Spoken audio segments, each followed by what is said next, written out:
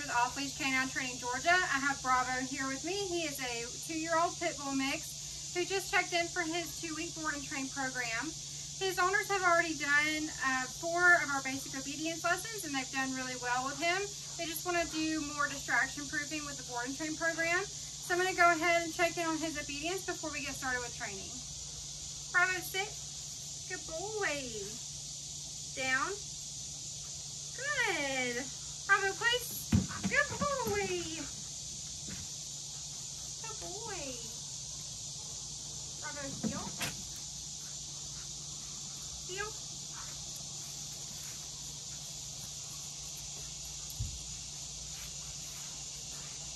Bravo, heel.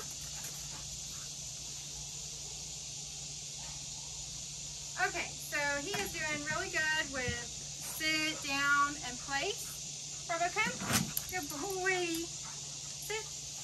His recall looks pretty good. We're definitely going to work some more on those leash manners and do some more distraction proofing. So check back with us in two weeks and see where he's at.